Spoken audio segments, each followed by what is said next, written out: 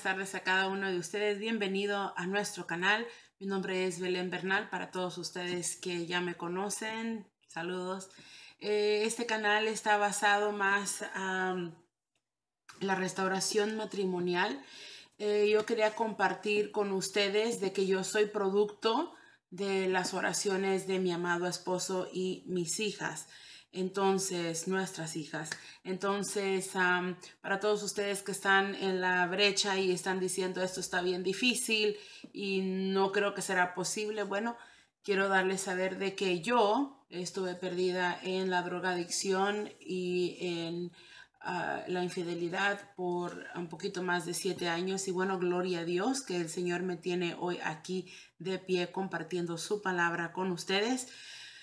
Eh, y ah, le doy gracias a Dios por mi familia, por mi esposo, eh, que nunca se dio por vencido y que él me dio saber ayer que él sentía que había un espíritu de desánimo que estaba viniendo sobre cada uno de ustedes. Y bueno, yo también lo sentía, pero necesitaba su confirmación, la confirmación de mi cabeza. Y bueno, por eso yo quiero hacer este video hoy en este día, es una palabra poderosa que compartió con nosotros nuestro Padre Espiritual,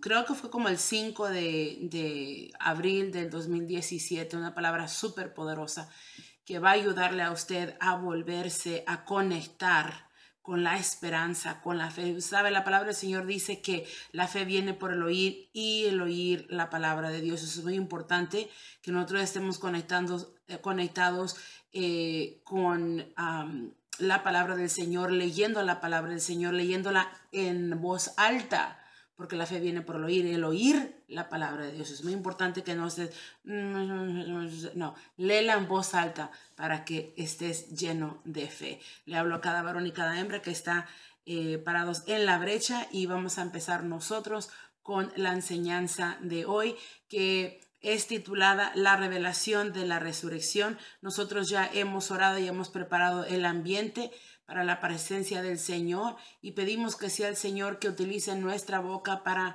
eh, inyectar esa palabra, porque nosotros reconocemos que la palabra de Dios es una espada de doble filo. Eh, penetras a lo más profundo del corazón, mis amados hermanos. Y por eso es que a veces se siente uno un ouch, porque penetras a lo más profundo del corazón separa pensamientos, se descierne el corazón de la persona, descierne los pensamientos de las eh, personas, separa coyunturas, todo eso. Entonces, eh, vamos nosotros a comenzar con la palabra del Señor, que el título de este mensaje es La revelación de la resurrección. Quiero honrar a mi madre, a mi padre espiritual, el apóstol Guillermo Maldonado y la profeta Ana Maldonado, porque se ponen en la brecha por cada uno de nosotros. Están intercediendo todo el tiempo por cada uno de nosotros, sus hijos espirituales. Y aunque es una congregación muy grande, nosotros sentimos que nosotros estamos incluidos allí cuando estamos eh, en el Espíritu, cuando ellos están en el Espíritu orando por cada uno de, de nosotros. Así es que gracias mamá, gracias papá. Les amamos demasiado.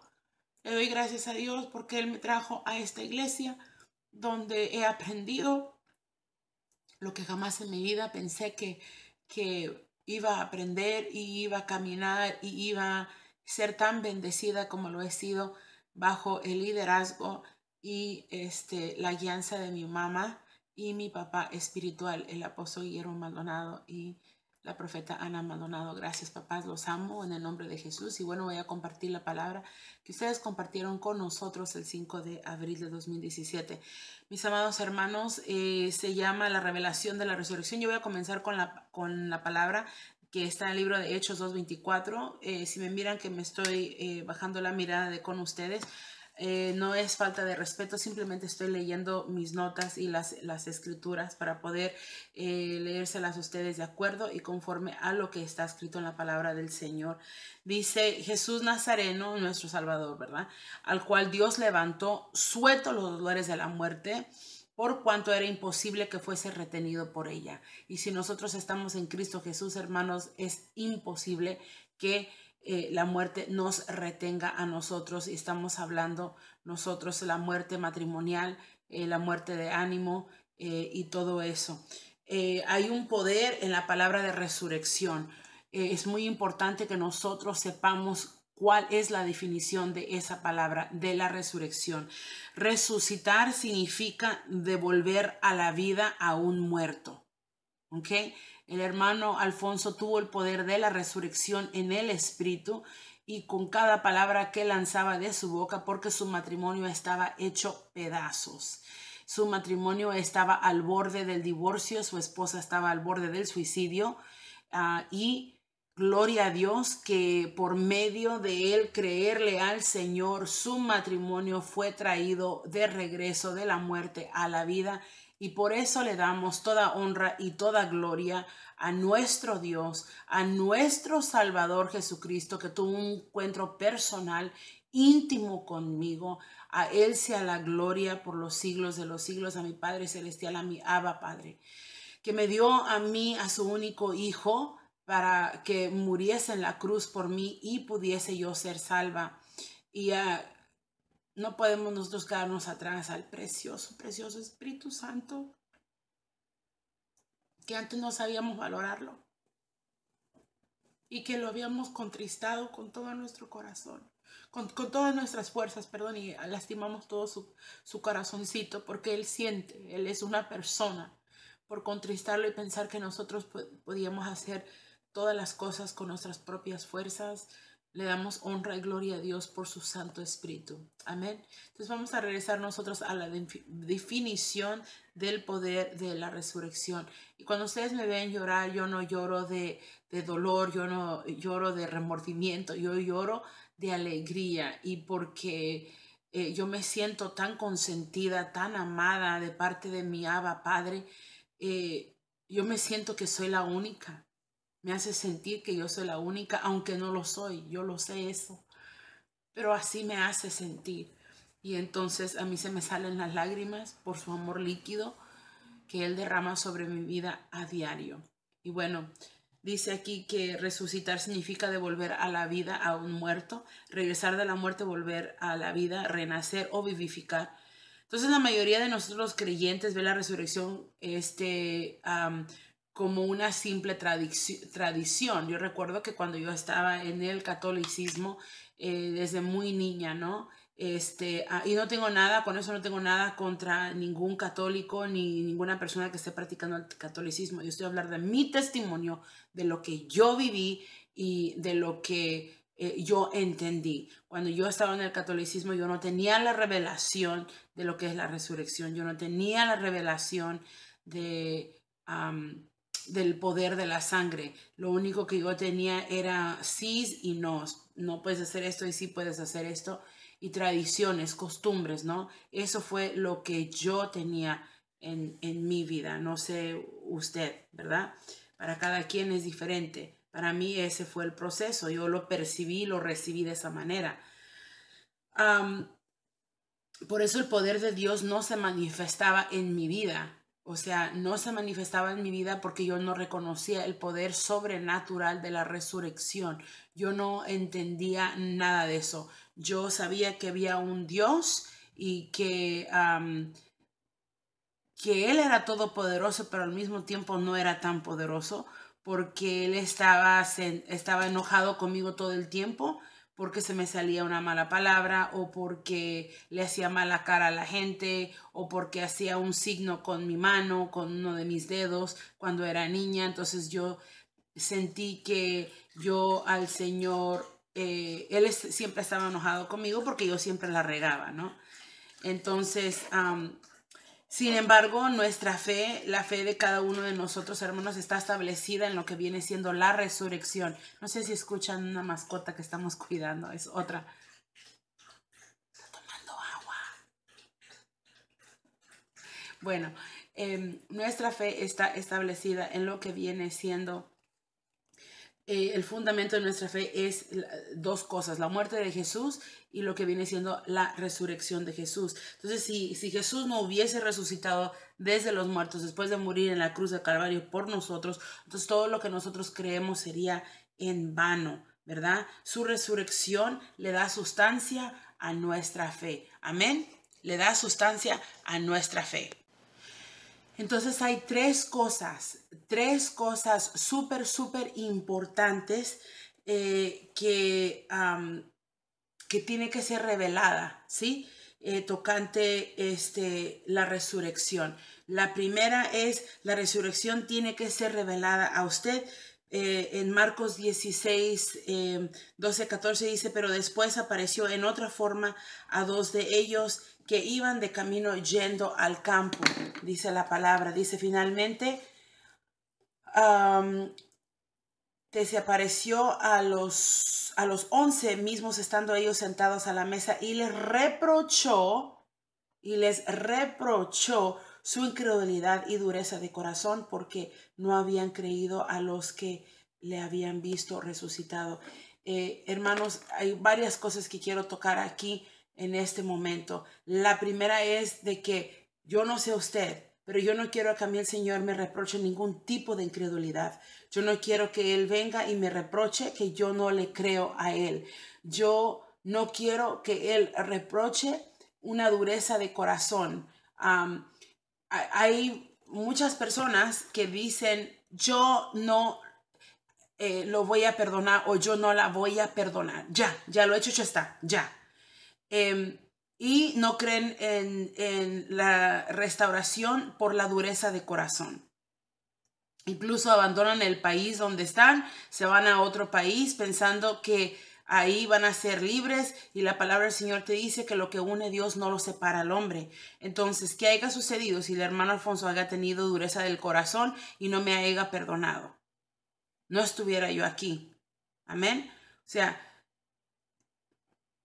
necesitas, se necesitan perdonar el uno al otro. El hermano Alfonso no se encuentra aquí en ese momento, sino él les daría testimonio de que nuestro matrimonio ha pasado por muchas, muchas cosas, muchas cosas, y constantemente hemos tenido que perdonarnos el uno al otro, borrón y cuenta nueva, y nunca volvemos a hablar de ese tema para reprocharnos, sí para compartir con ustedes un testimonio, pero nunca para reprocharnos. Así es que si tú eres una persona que tiene dureza en el corazón, en este momento es mejor que te arrepientas.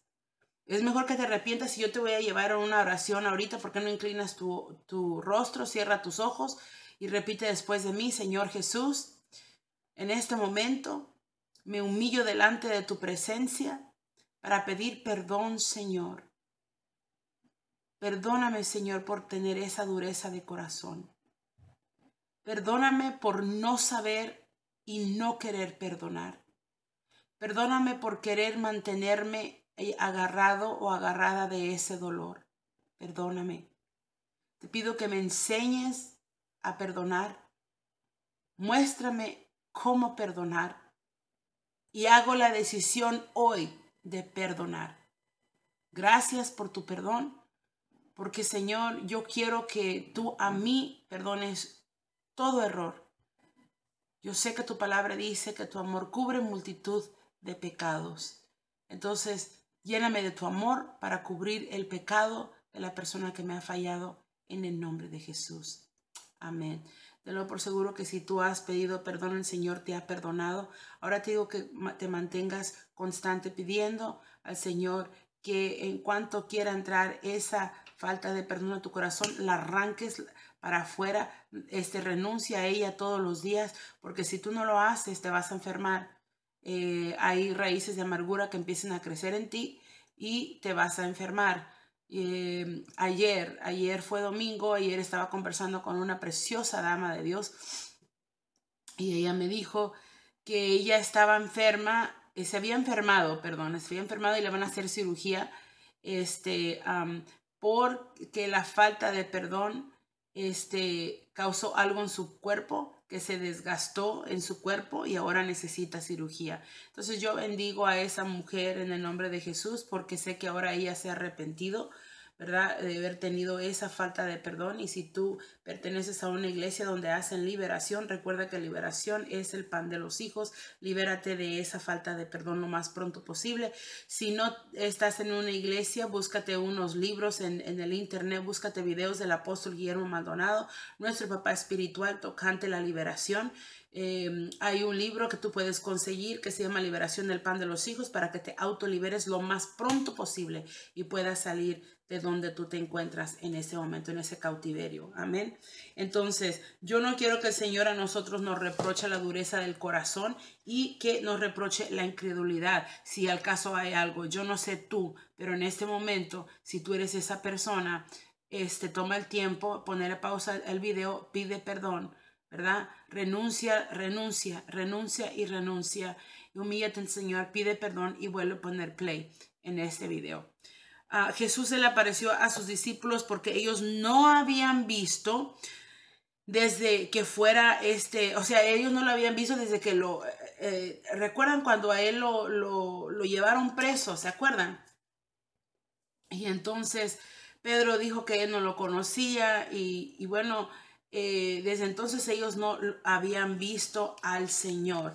Entonces, en otras palabras, Jesús les reveló su resurrección y su verdadera identidad como hijo de Dios él descubrió ante ellos lo que hasta entonces pocos sabían. O sea, tres años y medio lo habían conocido no natural, pero nunca lo habían visto, nunca habían visto el Mesías anunciado en la escritura. Entonces, por eso tuvo que revelarse con todo el poder y con toda la autoridad que le había otorgado su Padre. Abba Padre. Hoy al igual que entonces todo creyente debe de comenzar teniendo esa revelación de quién es Jesús hasta que la resurrección no se te sea revelada, entonces usted no conocerá la verdad, el verdadero poder de la resurrección, solamente conocerá como yo conocía la tradición, la tradición de la resurrección. Amén. Número dos, la resurrección es el testimonio de Jesucristo. Vaya conmigo a Apocalipsis 19, versículo 10. Apocalipsis, versículo 19, perdón, capítulo 19, versículo 10. Y la palabra del Señor lee de esta manera. Yo me postré a sus pies para adorarle y él me dijo, mira, no lo hagas, yo soy consiervo tuyo y de tus hermanos que retienen el testimonio de Jesús. Adora a Dios porque el testimonio de Jesús es el espíritu de la profecía. Amén. En el testimonio de Cristo es que Él murió y resucitó. Entonces, otras palabras, Él está vivo y pronto vendrá otra vez. Si estuviera muerto, entonces no, no tendremos que estarlo esperando porque está muerto, ¿verdad? Pero Él no se quedó en la cruz sin el testimonio de su resurrección, mis amados hermanos, que Jesús eh, hubiese sido otro filósofo, otro líder religioso, otro profeta más, pero su tumba está vacía, haciendo eso, que la muerte no lo pudo detener, haciendo eso que Él es nuestro Señor y nuestro Salvador. Entonces, si usted no lo ha reconocido, es el momento de reconocerlo. Quiero que vean que Él carga el poder. O sea, fue resucitado. Y si la palabra dice que Él vive en nosotros, nosotros cargamos ese mismo poder de resurrección. Amén. Y podemos resucitar todo lo que nosotros nombramos. Eso le debe de llenar de emoción. Nosotros podemos resucitar todo lo que nosotros nombramos. Amén. Pero ojo, no va a ser en el calendario suyo va a ser en el tiempo del Señor. Muchas de las veces cuando estamos pasando por ese proceso vemos los errores de otra gente y no vemos los de nosotros. Ese, no vemos que nosotros tenemos que pasar procesos, procesos también de restauración, procesos de perdón, procesos de saber cómo morir al yo, procesos este, de saber cómo retener y cuidar lo que el Señor nos entrega. Eh, pero solamente vemos este, que la otra persona falló y que nos abandonó, pero no vemos lo de nosotros y caemos nosotros en lo que es ser víctima. y eso también, hermanos, tenemos nosotros que reprender el espíritu de victimismo. Amén. Número tres, el mensaje de la resurrección desata milagros, señales y maravillas. Eso me emociona. Hechos 4:33 dice, y con gran poder los apóstoles daban testimonio de la resurrección del Señor Jesús y abundante gracia era sobre cada uno de ellos, donde quiera que se predique la resurrección de Cristo con revelación, el Espíritu Santo la confirmará con milagros, con señales y con maravillas. Dice aquí, y es que cuando hablamos de la resurrección de Cristo, algo sucede. O sea, todo cobra vida. Todo cobra vida. Todo cobra vida. Amén. Los sueños muertos cobran vida. ¿Ok? Las finanzas cobran vida. Se vuelven a activar. Las visiones muertas reviven. Los órganos muertos vuelven a funcionar. Todo se vivifica todo. Los órganos muertos cobran vida. Eso se llama milagros creativos. Yo los he visto personalmente en la iglesia donde yo pertenezco porque sé lo que carga mi padre y mi madre espiritual y ellos saben el poder de la resurrección. Nos, nos han a nosotros inyectado la revelación del poder de la resurrección y lo he visto, a mí nadie me lo tiene que platicar, lo he visto con mis propios ojos. Amén. ¿Qué hacemos con ese poder entonces en el momento que el Espíritu de Dios le revela a alguien que Cristo está vivo? Esa persona se activa en lo sobrenatural. Marcos 16, Versículo 17, 18 dice, estas señales seguirán a los que le creen, en mi nombre echará fuera demonios, hablarán en nuevas lenguas, eh, tomarán ah, en la mano serpientes y si bebiere cosa mortífera, no les hará daño, sobre los enfermos pondrán sus manos y ellos sanarán. Todo esto nosotros tenemos el poder y la autoridad de hacer por medio de la revelación de la resurrección, que quiere decir que nosotros podemos poner manos y poner manos sobre nosotros mismos y los órganos de nosotros tienen que revivir, ¿sí? Tienen que revivir porque usted ha dado una orden, pone las manos sobre usted, sobre su corazón, su corazón tiene que volver a revivir, o sea, estoy hablando del corazón, este, no físico. ¿okay? Este, usted pone, este, impone sus manos sobre su decreto de matrimonio y su matrimonio tiene que revivir. Tiene que apropiarse de esa palabra. Tiene que apropiarse de esa palabra, porque en esos momentos llega el espíritu de, de enfado, llega el espíritu de, ah, ah, de duda, llega el espíritu de, es que soy hijo de, rey, de reyes, no sé cómo se llama ese espíritu todavía. Algo como... Eh, como el síndrome de mami papi, ¿no? Eh, que porque tienes a mami papi, que ellos tienen lana, eh, entonces yo no tengo que hacer nada, todo se, me, todo se me viene a mí. No, somos hijos del rey de reyes, sí, él es el dueño del oro y la plata, sí, pero tienes que hacer trabajo. Tienes que trabajar tu milagro. Tienes que postrarte delante del Señor. Tienes que irte a intimidar. Tienes que aprender a orar. Tienes que aprender a interceder. Tienes que aprender a luchar y a guerrear. Se cortó un poquito el video, amados hermanos, porque estaba este, no sé qué es lo que está pasando con el teléfono. Siempre me tengo problemas con el teléfono, pero eso no va a detener de abrir la boca. Entonces lo que les quiero decir de que tenemos que hacer trabajo. Tenemos que hacer trabajo no solamente porque papi es el dueño del oro y la plata, no quiere decir que todo me va a llegar aquí con charola de plata. Trabaja tu milagro, aprende a trabajar tu milagro. Si no sabes qué quiere decir eso, entonces ve otros videos que nosotros tenemos en el canal o busca ahí aquí mismo en YouTube, busca este trabajando tu milagro con mi papá, el apóstol Guillermo Maldonado. Entonces, quiero darles saber de que todas, todas estas señales son para los que le creen, ¿verdad? Que Cristo ha resucitado porque la resurrección es el fundamento de nuestra fe cristiana. Entonces, si tú eres un creyente, tú sabes que Jesús resucitó de entre los muertos y hay poder en eso, entonces ese es el fundamento de nuestra fe. Si tú no crees que Él resucitó desde entre los muertos y no crees que tú tienes el poder de resurrección porque ya recibiste a Jesús en tu corazón como tu rey y tu salvador, estás mal. Entonces, yo quisiera en este momento animarte. O sea, yo sé, yo sé, mis amados hermanos, estamos a finales de los tiempos casi. Y nosotros no podemos quedarnos con las manos cruzadas. Por eso yo eh, expreso mi, mi, no sé, con mi voz expreso este, la desesperación, la ansiedad de que ustedes se pongan al, al tiro, que no se desanimen. Este, hermanos, mi número y el número personal eh, del hermano Alfonso no podemos dárselos eh, en, en el aire a todo mundo.